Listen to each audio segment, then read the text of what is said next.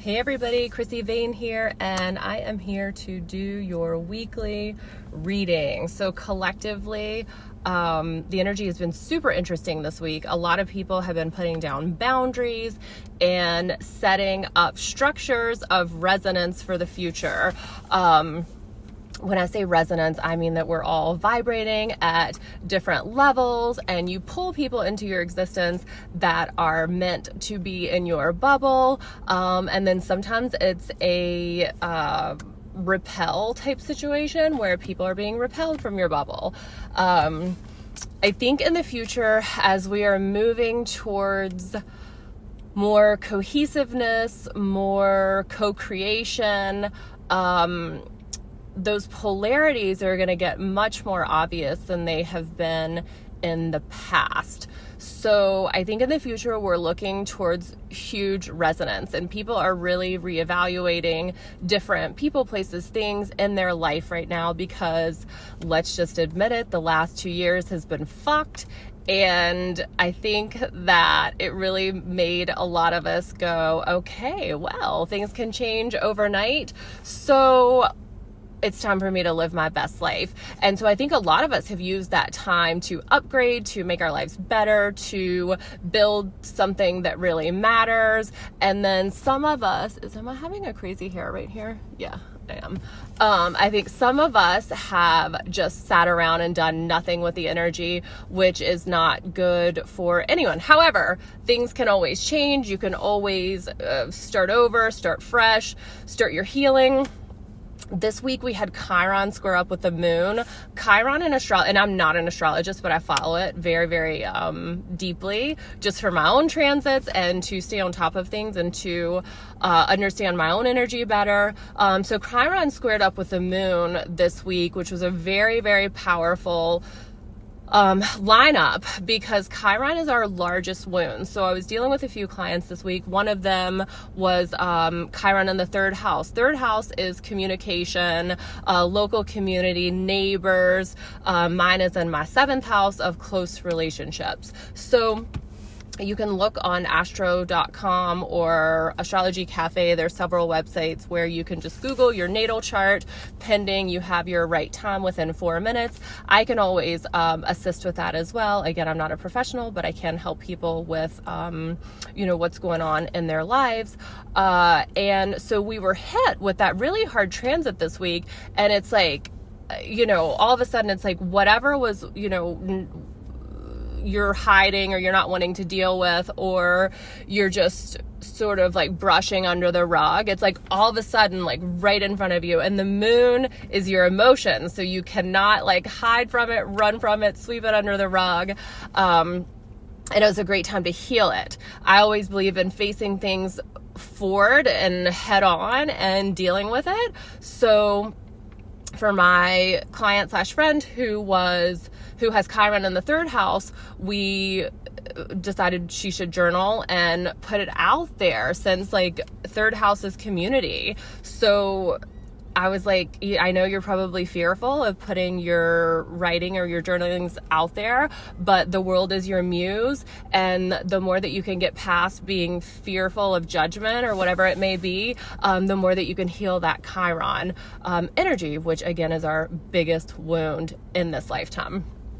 So, um, that being said, we're moving towards relationships that are of resonance now. And we've been, this has been like a two year thing, but the heavy transits in April with the Aries new moon, which Aries is like me, me, me, I am. It's the start of the astrology or astrological new year, and it's the baby of the zodiac. So it's the I am of the zodiac. And it's like, I am going to work on me, I'm going to work on my healing. It's not to take away from anyone anyone else. It's just because I am being called to that right now. So I'm going to try to make these a little shorter every week just so that I can keep everyone um, everyone's attention span. So let's go to the cards and see if we missed anything. But right now we've got resonance in relationships, resonance in job, resonance in jobs, pulling uh, and repelling vibrationally who and what is good for us and what is not, and stepping into our power and not letting the emotions and the uh, the emotions and the baggage of other people hold us down anymore because really at the end of the day we can only be responsible for ourselves and we cannot be mad at anybody else. If they are dragging us down we have to look in the mirror but we also have to look at are we setting boundaries? Are we um yeah are we boundaries is really the biggest thing. Are we setting boundaries where boundaries need to be uh, lied down so I read from the Sacred Rebels deck. This is my favorite deck um, because I like being a rebel and I've never done anything the way anybody told me to do it. So um, this is a deck. I have an Aries moon. So this is a deck that's always uh, called to me deeply and I've been reading from it for a long time. Okay, so collectively, what's going on in the universe? Did we miss anything? We're going to pull a couple of cards.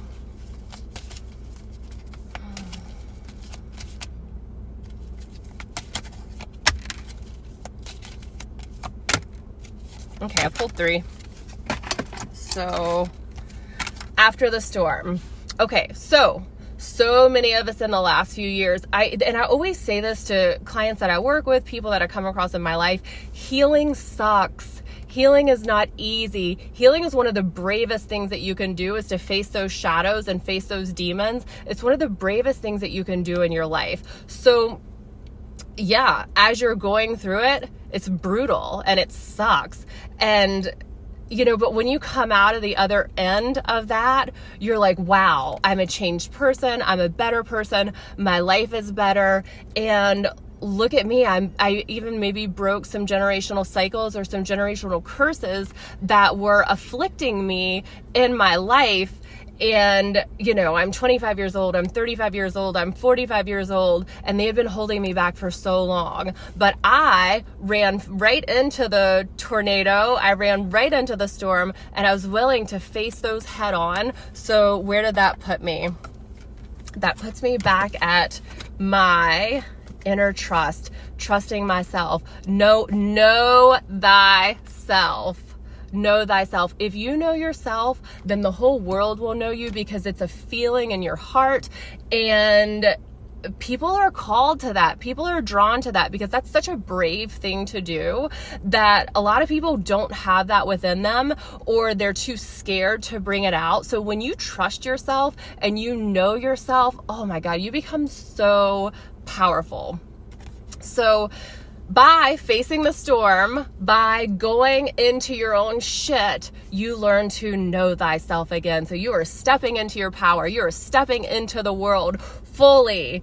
Um, integrated. Uh, we're always healing, we're never completely healed, but integrated and freaking powerful. And now you're becoming like a magnet to people, places, things of resonance that are going to enhance your life and make it so much better because you were willing to be brave we pulled this one last time. Interesting, uh, interestingly enough, new birth, guard it vigilantly. Remember that not everyone because humans by default can be selfish especially if you're they are not on the journey of self-awareness and the path of mastery. They can be selfish. So whatever you're birthing into the world you have to guard that with your heart and guard it vigilantly. We talked about this last week. Uh, there's 50 some cards in this deck. It's really interesting how you'll pull the same ones if the same message is coming up. So whatever you're building it's it's still in its infant and its sort of baby stage. Remember we're in aries season. So you want to go, go, go super fast and maybe pull a lot of people in, really think about who you're pulling into your circle and who uh, should have that honor, who should be allowed in your inner circle, and um, who should be allowed to share energy with you when a butterfly is in its cocoon, it needs to be kept safe and it needs to have the time to grow into what it's supposed to grow into. That cannot be done overnight. So you have to nurture it, nurture it, nurture it, and um, and take care of it and also take care of yourself and allow it to grow. Things don't grow overnight. It takes a baby in a mother's womb really 10 months to grow and to become a full you know, in its full maturity, ready to come to the earth side. So, new birth, guard it vigilantly. Watch who you're allowing into your to your inner circle. I will see you next week, and I do take pri. Oh shit! I thought it was gonna cut me off at ten minutes. I was trying to finish up. Okay, so. I do do private Zoom sessions. I do do private coaching and um, private guidance. I am a holistic life coach and a consciousness guide, an intuitive reader. Um, so I wor- I've been working with people a long time on how to become their best selves. However, it really helps when I'm becoming my best self because, you know, you have to live it to do this for a living.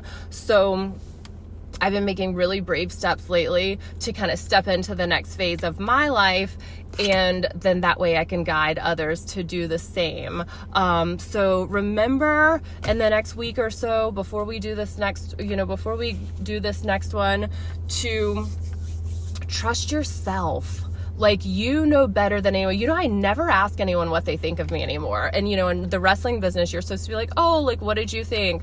Like, did you like that? Like, I haven't asked anyone those questions in so many years because frankly, I don't care.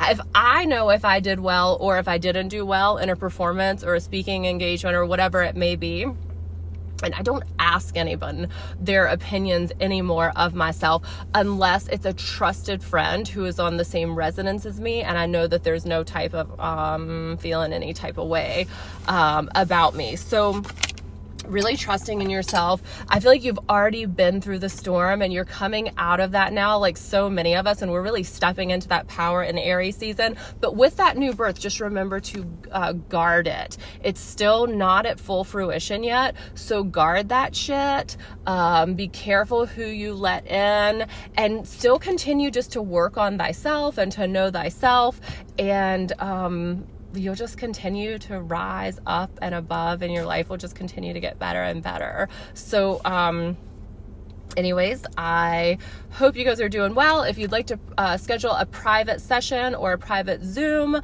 with me you can reach out to me. My website is linked in my bio.